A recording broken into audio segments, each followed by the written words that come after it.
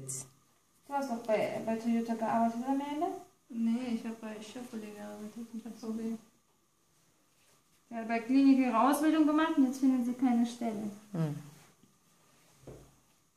Ich sage, oh, die jugendlichen Leute, ihr müsst so handwerklich was lernen jetzt. Ja, da sie recht. Die Zeit vor, vor Studium ist vorbei. Muss man wirklich was, heute guck mal Maler, guck mal Handwerker, Haustechniker, die sind immer voll ausgebucht. Also das, was wir hier machen, Schönheitsbranche läuft immer.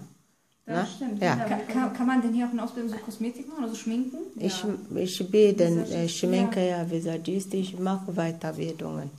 So Anti-Aging, ab nächstes Jahr jetzt Anti-Aging-Behandlung, so Zellulite Kann, darf ich diese. Bürste nicht benutzen? Doch, darfst du auch.